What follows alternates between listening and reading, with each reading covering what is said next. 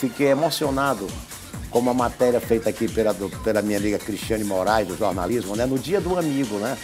Eu achei tão legal, achei tão bonito o abraço da Tarsila com o nosso amigo Glauber, né? Do financeiro. Eles são um exemplo de amor, de carinho, né? Que eu acho que o dia do amigo é todo dia, toda hora. Você tem, que, você tem que ter mais de um bilhão de amigos. Mas eu achei tão lindo, viu, Cristina, essa matéria? Linda. Porque o é essa pessoa terna, essa pessoa gostosa, Tarsila, aquela mulher cheia de vida, uma mulher prestativa. As pessoas que chegam, tudo eles querem fazer pela gente. É o companheirismo que hoje reina nessa família difusora de maneira linda, né, meu amigo Zeca Pinheiro e meu amigo Manuel Lopes, não? É uma família hoje.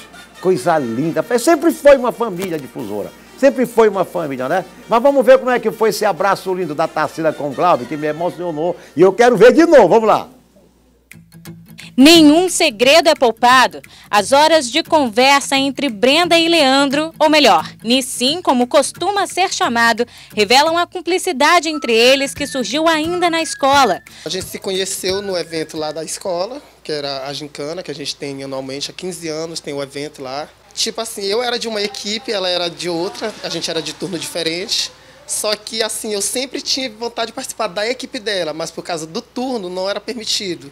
Quando eu terminei o ensino médio, eu disse, ah, então nada me impede mais de ir para a equipe que eu sempre quis. Sim. Aí eu fui para a equipe dela, conheci, tipo assim, foi uma coisa que já bateu, assim, a gente se conheceu, formou amizade, foi uma coisa então que Desde então, só cresceu e se fortaleceu a cada dia. Um elo tão forte que Brenda não consegue controlar as lágrimas ao tentar explicar. Eu acho que qualquer amizade, ela se fortalece no momento da dificuldade. É o braço, é o segundo braço após a família. A família é nossa base, é da onde nós viemos. Mas os amigos são aquelas pessoas que a gente escolhe. É, acho que Deus manda de, olha, se não tiver aqui, esse braço aqui te fortalece. Nessa caminhada, tudo ficou ainda mais intenso com a chegada da afilhada Esther. Eu acho que virar compadre estreitou as relações, porque antes era a relação amigo, né? Agora a gente tem uma responsabilidade, né? Que é a nossa afilhada, a Esther. E isso, além de estreitar, solidifica, né? Fortalece, porque querendo ou não, é algo que sempre seremos os responsáveis por ela. E na rotina corrida, às vezes ver os amigos acaba sendo colocado em segundo plano. Mas não para o Glauber e para a Tarsila. É que, além de se conhecerem desde a infância, eles ainda trabalham juntos. A amizade verdadeira é aquela que o tempo nem a, a, distância destrói. Né? Por mais que você se distancie por um tempo, como aconteceu comigo e a Tarsila, o tempo não destruiu a nossa amizade. Né? E assim, amigos são irmãos que, os, que o coração escolhe. Eu acredito que a Tarsila é uma grande irmã para mim hoje. Sempre foi, na verdade. E para quem acha que trabalhar com os amigos atrapalha o desempenho profissional, uma pesquisa feita pela Universidade de Harvard nos Estados Unidos comprovou o contrário. Na verdade, as pessoas se sentem até sete vezes mais envolvidas com as atividades quando trabalham assim, cheias de amor é indescritível, né?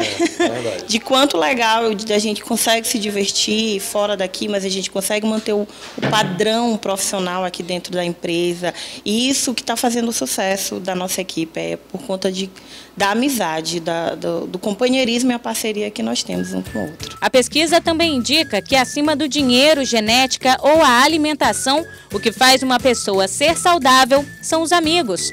Isso é causado pela combinação de dois hormônios: adrenalina, que atua no sistema nervoso e que é responsável pelo nível de estresse do corpo, e a ocitocina, hormônio das relações.